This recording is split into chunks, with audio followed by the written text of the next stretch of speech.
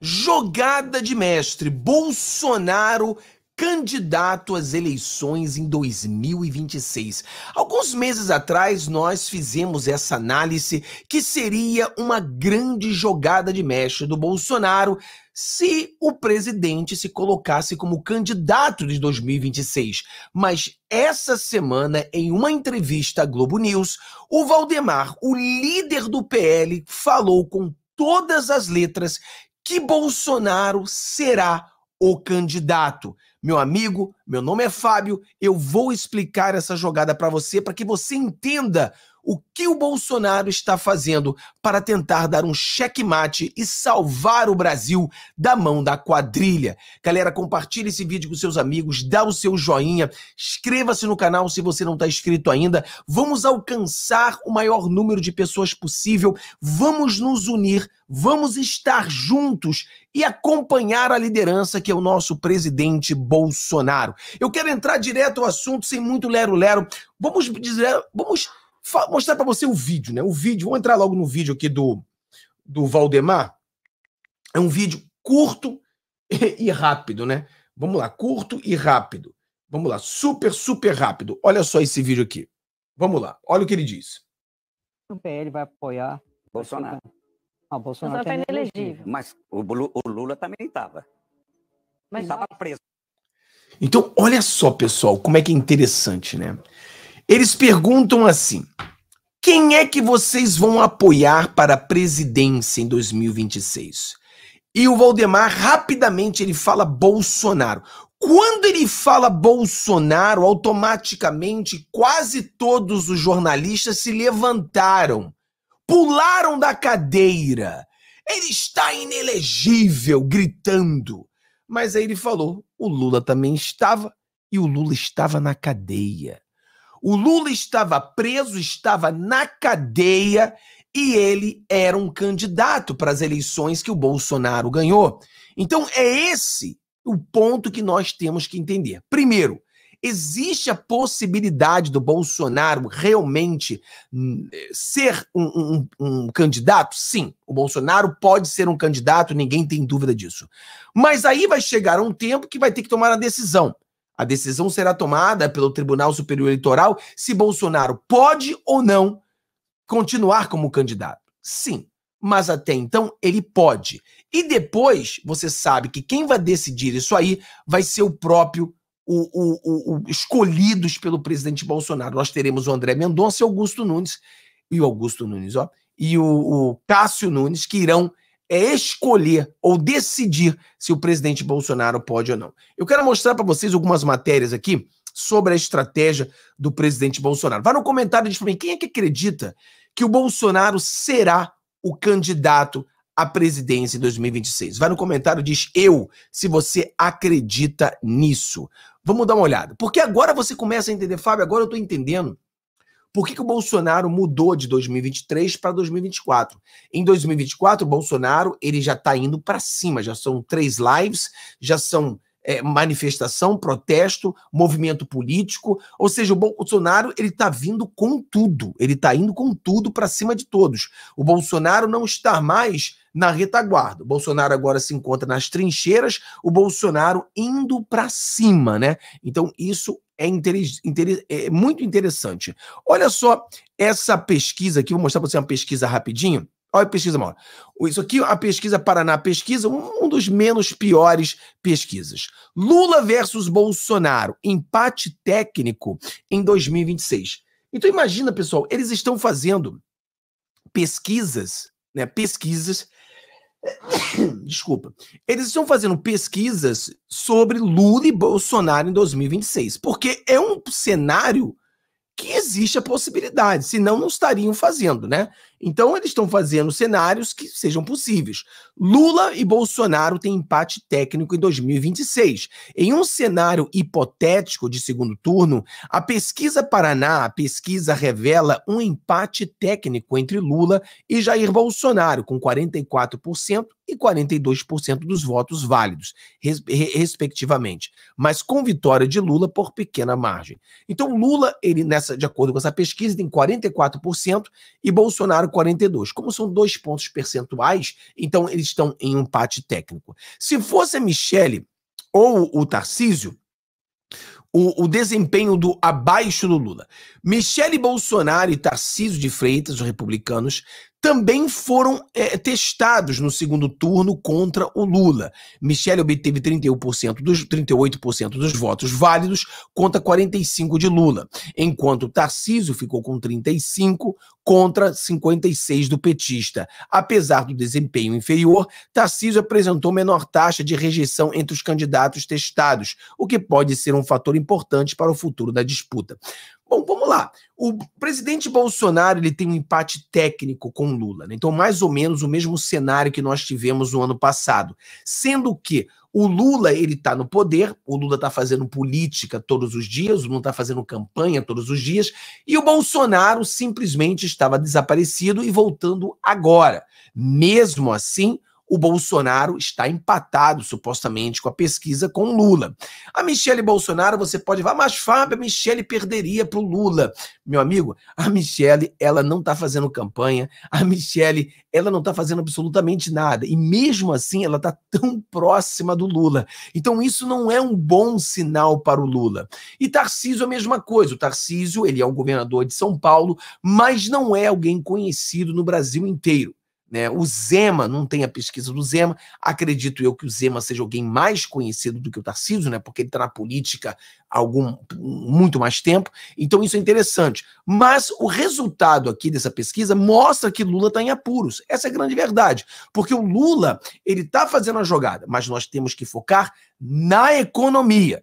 O Lula consegue levantar a economia brasileira, ele levantando a economia brasileira vai ser muito difícil da gente ganhar em 2026. Mas se a economia afundar, com certeza nós vamos ganhar. Eu acredito que a gente ganha em 2026. Agora vamos à, à questão da jogada de mestre do presidente Bolsonaro. Agora que você vê a pesquisa, você vê as lives, você vê o presidente Bolsonaro fazendo essa jogada. Olha só isso aqui, por exemplo. Olha a matéria da Veja. Eu já li isso aqui para você um dia. A gente pode ler mais uma vez. Eleições, a estratégia que Lula usou e que Bolsonaro pode replicar em 2026. Vamos lá, outra matéria. Outra matéria também a também da, da Veja. Vamos lá, outra matéria também da Veja. Olha aí. Ó. Vamos lá. Bolsonaro articula estratégia de alto risco para contornar a inelegibilidade. Então aqui você vê mais uma matéria. Agora, como aqui a Veja você tem que pagar, eu vou pegar a matéria em outro jornal aqui. É a matéria da Veja, que ela está em um outro jornal, né? um outro lugar. Aqui, ó. Imprensa diz que Bolsonaro articula estratégia para contornar a inelegibilidade. Né? Vamos lá. Um ponto a favor do ex-presidente é que a Corte Eleitoral em 2026 estará sob a presidência de Cássio Nunes Marques, que foi indicado a ministro do STF por Bolsonaro. Nas eleições de 2018, Luiz Inácio Lula da Silva inelegível com base na ficha limpa e preso em Curitiba, lançou sua candidatura à presidência. Mesmo com poucas chances de sucesso, o petista esticou a corda, mantendo seu nome no páreo até o Tribunal Superior Eleitoral tirá-lo da corrida a menos de 40 dias do primeiro turno. Vamos entender. Então essa aqui é a jogada do presidente Bolsonaro. A jogada do presidente é a gente eleger um número grande de prefeitos e vereadores. Com um número grande de prefeitos e vereadores, eles serão, por exemplo, é, é, o primeiro passo, digamos assim, para uma grande virada de jogo. Aí a gente vai trabalhar para 2026. 2026, o Bolsonaro se coloca como o candidato da direita. Então o que acontece? Ele se colocando como candidato, nós temos duas, duas coisas podem acontecer. Uma, ele continuar sendo candidato e votar e ganhar a eleição, né, ser o presidente do Brasil, ou dois, ele pode continuar inelegível.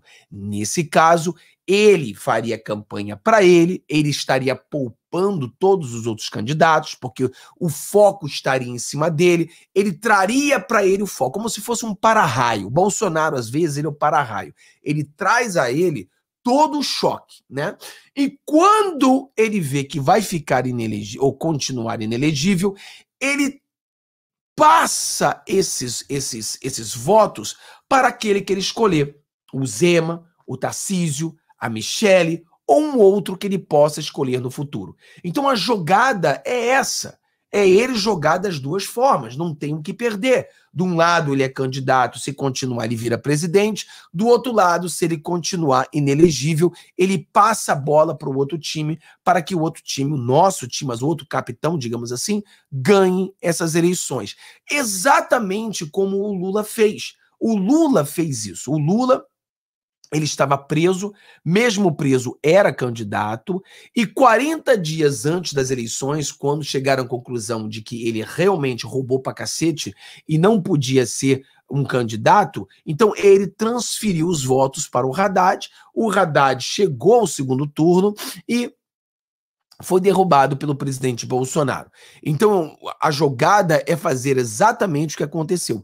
A diferença é que se você lê sobre a, nossa Constituição e como isso funciona, o, o caso é que o, se o Bolsonaro tiver no caso sendo julgado, ele pode ser candidato e elegível até o julgamento terminar entendeu? E mesmo o julgamento terminando, porque quando o Bolsonaro vai ser julgado se ele está elegível ou não, tem que ser feito no TSE e tem que ser votado no plenário, sendo que o Cássio Nunes, como presidente, terá autoridade de bater de frente com o sistema. Bom, se isso vai acontecer, a gente não sabe, mas gostaria muito de ver isso acontecendo, né? Vamos continuar ali. A estratégia quase deu certo. Lula transferiu boa parte dos votos ao vice, o Fernando Haddad, que foi para o segundo turno. Oito anos depois, a história poderá se repetir, mas agora com o vencedor daquele pleito, Jair Bolsonaro. Também inelegível, ele dá amostras de que vai levar a discussão sobre a sua candidatura até 2026, o que poderá impactar não só no processo eleitoral, mas com todo o ambiente político no país. Estratégia de risco. O principal frente para recuperar o direito eletivo até agora é a da Justiça. Condenado pelo Tribunal Superior Eleitoral, a ineligibilidade por oito anos em dois processos que já ocorrem no Supremo Tribunal Federal, de uma das decisões, o caso em que foi punido por usar estrutura do Palácio do Planalto para uma reunião com embaixadores, a sua equipe jurídica é chefiada por um ex-ministro do TSE, Tarcísio Vieira de Carvalho Neto, e contratada pelo seu partido PL, que tem amplo interesse em travar a disputa pela candidatura nos tribunais. Recurso no STF. O ministro escolhido para relatar o caso do pedido de defesa do Bolsonaro é Cristiano Zanin ex-advogado de Lula e da campanha do PT ao Planalto de 2022. Aqui uma jogada interessante. Por quê? Porque se o Zanin não se colocar como.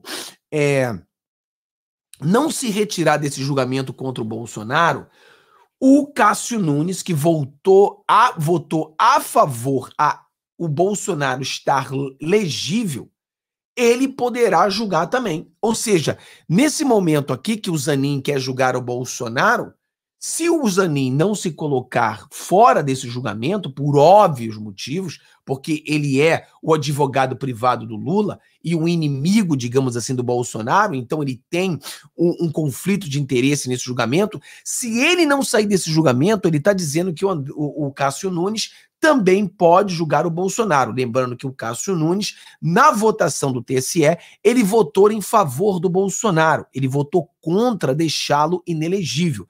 Só que agora ele será o presidente do TSE. Então ele vai ter o poder de sim colocar o presidente Bolsonaro elegível se assim ele quiser. Então eu acho que está muito interessante esse jogo e o Bolsonaro realmente indo para cima com tudo, né? Basicamente isso. O ministro é a linha dura nesse tipo de processo. Todos os recursos eleitorais que passaram pela sua relatoria em 2023 tiveram decisões negativas. O voto dele, de qualquer forma, precisaria ser substituído pela primeira turma do STF, se houver recurso no plenário. A defesa de Bolsonaro sem pressa, a defesa não tem nenhuma pressa em acelerar os julgamentos do ex-presidente do STF, por um bom motivo.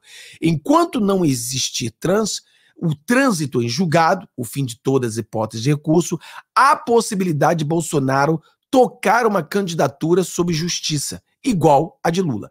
Ou seja, enquanto houver o trânsito em julgado, enquanto não termina o julgamento, o Bolsonaro pode ser um candidato.